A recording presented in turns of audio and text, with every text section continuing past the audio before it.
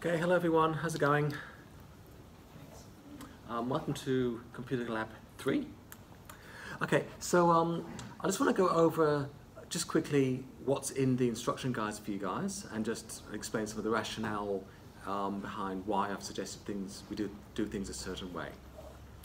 Um, so it looks on the face of it like it's quite a straightforward lab, which, which it is. Um, we're going to focus research on more sort of um, genetic or molecular detail of the topic.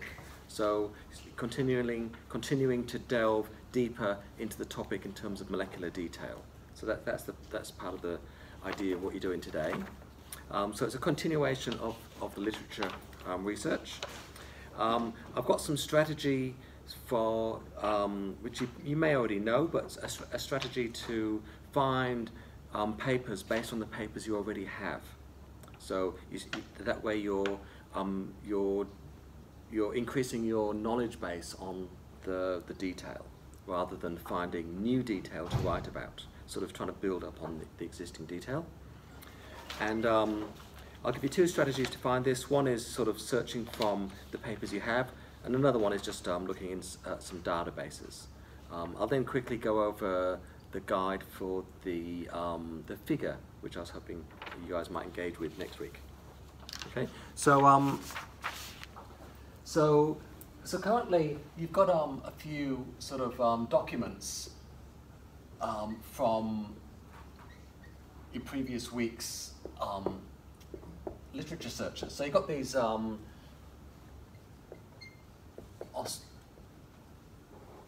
you've got some Australian papers from the um, from the database initially, but you've gone to PubMed and you've got some papers by the Australian researchers. And these are um, research papers, okay?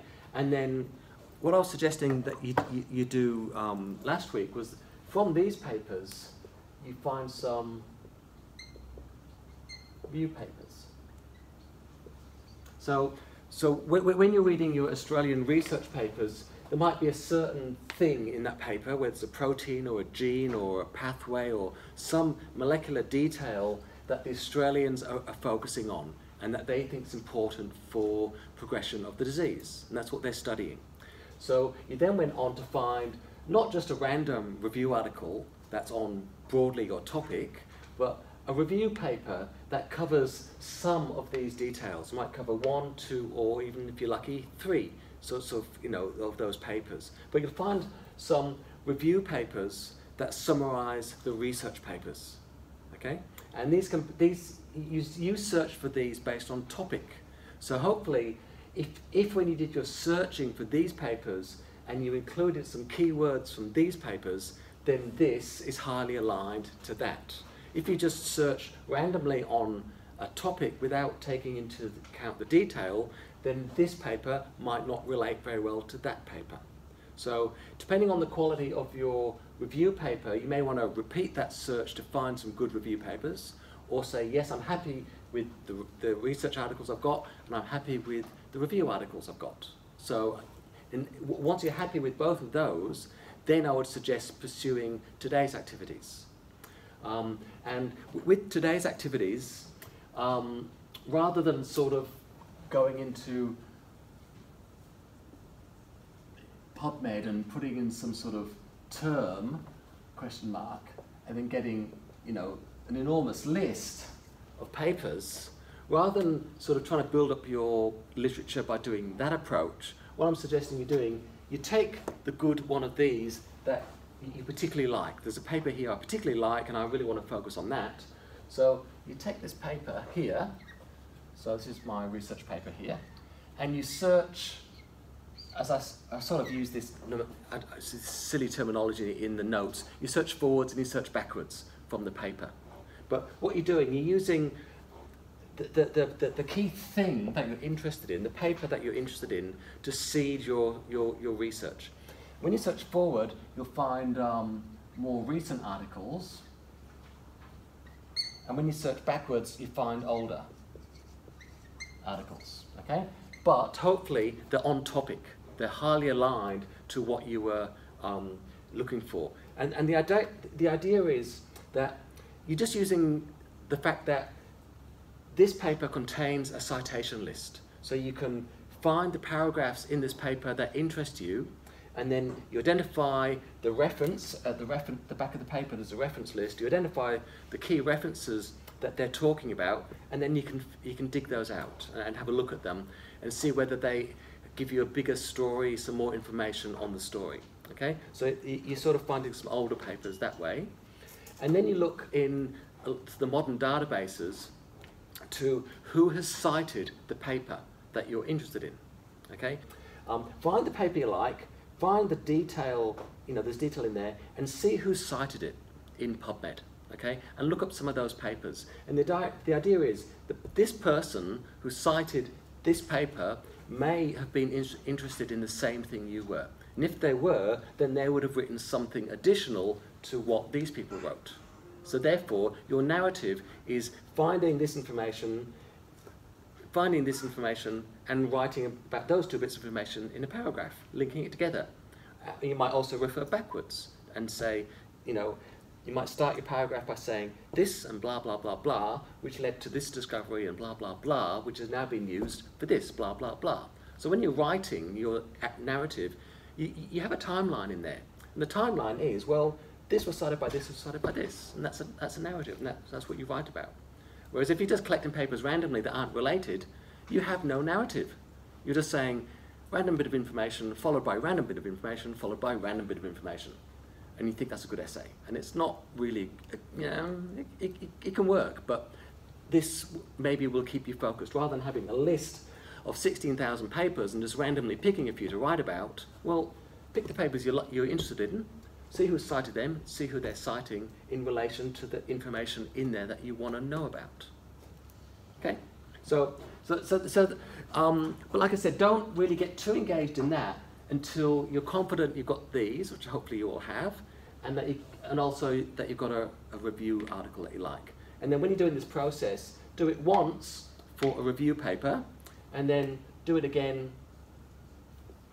for a research paper. So, so, so you do it, so one for research paper and once for, okay? And you might choose to do it more than once for each type, category of paper. It's up to you, but at least do it once for each type of paper, okay? And that way you, are going to build up your, um, your, your body of papers that have a narrative and that have got some information on what you're reading about. Okay, so that's, um, that's one thing I want you to do today. One of the other things I would like you to do is to take some, um, I don't know, your favorite gene one, some protein of interest or some pathway, whatever. So some information from these papers and um, go to um, a biological database, either a genetics-based database, a genome browser kind of database, or a protein database, and go in there with a key, the name of a protein, whether it's the acronym or something, and just see if there's an entry there that may or may not be useful for you. So the entries might cover um, mutations of that protein that are associated with diseases. It, there's, there's a whole wealth of information which you can get from um, genome browsers or um, you know like genomics databases or protein databases. So I, I know you've all used um, um, PDB in functional proteins and genes, and I, I, know a lot of you have used um, is it UCSA or whatever, what's, what's the acronym? University of California, Santa Cruz, whatever, that one, the, the, the, the genome browser, which you can, you can search in, you know, in, um, for information. There's lots of databases, there must be, you know, 80, 100 databases out there. Um, so again, you can, um, you may want to find some extra information that's different from what you get from research papers in a database. Um, okay, um, and then the last thing I want you to have a think about is preparing a figure for um, next week. So, so you've got your bits of information here. You know, one, two, three. You got you got some information from your papers, okay? And it might be sort of um, this might be something to do with um, a protein, sort of, uh, you know, a receptor tyrosine kinase or something. Who knows? Something to do, you might have a bit of information from this paper about something, okay? From this paper here, you might have something about, you know, genetics, you know, some sort of screen, you know, or some, some sort of, you know, association, I don't know, some information from a database. You might have some KEGG or some other database information, and you might just have some other information from a review article. So you started to collect information, and the idea is that this thing is associated with the disease through some process. These genes are associated with the disease by some sort of process. There's bits of information of these things, okay? And you might not see any obvious relationships between the different research areas from the different scientists, okay? But you can still have a go at pulling it together.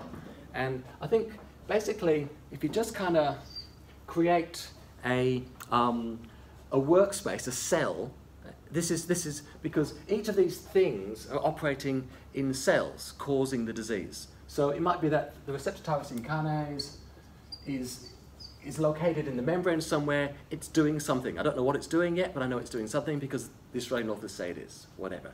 You might have a pathway um, of some description where this activates this, indicated by an arrow, or this inhibits that, indicated by a T-bar, you know, the sort of the way people draw things. You might have some molecular pathway from some of your papers. You might have some genetic information where you've got some sort of transcription of genes or some mutations in genes leading to you know, upregulation of a protein or downregulation of a protein. You've got, you've got things happening from these different papers. So draw in one cell an approximation of what's happening. And I think that's involved somehow. I think that's involved somehow. And I think that's involved somehow because that's what my reading tells me. I don't quite understand how this relates to that, and I don't quite understand how that relates to that. Okay? And it might be because this is not known, or it might be quite well known, and maybe the review article will help you understand how things are related. Okay? So you can, you can think maybe a little bit about what, whether there are any relationships between these things, and there may or may not be there. And you don't expect everything to be related, because the whole point of research is trying to identify things that people don't understand. So that's what people are trying to understand. So I think from an undergraduate point of view, you want it to be, well, my disease is caused by A to B to C to D to E to F, and then it causes disease. And it's really simple. You're, it's not like that. It's, you know, cells are very complicated. So just think of, I've got something here, something here, something here from these papers that I've been reading, and here's my representation of what's going on. So this is the figure that I want you to talk about next week. Okay, now, in addition to making a figure, what I think is a really good idea is so you've drawn this, and what I'm trying to encourage you to do is not to um, take a figure from another publication. You've got to draw your own. All right. So in the mini review, if you cut and paste a figure from another source, I'm just going to go zero, okay? Because uh, that's not appropriate. You don't have copyright, you don't have permission, and it doesn't demonstrate learning. So what's to like about cutting and pasting a figure from another source? Okay? It's harder to detect when you cut and paste paragraphs from other sources and jumble the words around, and you just read it and it's gobbledygook, but oh, at least it's a, a sentence, it's a paragraph, and it indicates an attempt to try and understand something. But just cutting and pasting a figure doesn't work, okay? So the other thing I've asked you to do for your mini review and for next week's activity is to say, well, where did that come from, that information here? So you say, here's the, um, maybe the front cover of a paper, and it's, you know, the role of something in something. And you say, well, I got this information from this paper, okay? Because that's where it came from. So just tell us where it came from, okay? You've got some information here. Um, you know, so, so point number one came from paper number one. Point number two came from, say, it's quite popular that people use KEGG for pathway. So you might say, you know, here's my KEGG pathway, and all these things on it, and I chose this bit here. This bit here is the bit I chose to represent here. Okay, just a little bit of that KEGG pathway helped me understand a little bit here because the Australians were talking about that, that, and that. And then the other thing was, you know, it might be, you know, I might have a, um, a Nature review article. And there might have been a lovely diagram in the Nature review article that had something doing this, doing, you know, a nice, really nice diagram in Nature, which you based maybe this portion of. Okay? So just to do this, you have these anyway. So I'm not asking you to do more work by just dumping those sources on a slide and saying, here's my sources. But what you're trying to do is to, to make this, which is your synthesis of your, your ideas. Okay? So in your mini review, um, I, I, the, the, the, uh, you, make, you, you to include a figure that you synthesize, and also in your mini review, you to include your sources as an appendix. So um, you can do that um, next week. You can say, well, this is my draft figure, and I can give you feedback if you want it. And for next, the next computer class, even if you don't attend next week's seminar workshop, I want you to include the figure as pre-work in your co computer class four. Okay? So there's a small assessment in the um, marking guide for the labs is, is the, this figure. But also, it'll be marked in the mini review because this really nails your understanding of this. And that's, that's, that's why it's a good process to go through. So, um, so that's what we're doing next week in the seminar workshop. Okay? So, um, is that kind of clear? Any, any? It's not particularly difficult. It's just um, show me your sources. And part of that is um, sometimes these can be too close to those. You know, and also if you just were to include that in your mini review, it would have lots of bits of information which you're not writing about. And then I'll be saying to you, well, why have you included those in a figure if you're not writing about them? Whereas in this figure here, all the things that you're drawing in here are things you're going to be writing about. So this will make writing easier because you can refer to your figure. So it, it actually makes writing the, the essay easier when you've got a figure to reference. And also don't forget to have a, a fig legend. Okay? Which just says, you know, um, you know, representation of, you know, molecular basis of such and such disease, green circle represents the blah blah blah, arrows represent interactions between the proteins, the, you know, something here, just a technical description of what the figure is. You know, so, it's, so just so, so that, um, you know, I can give you some feedback on that during the class, which might help you in preparing for what you're doing and thinking through what you're doing.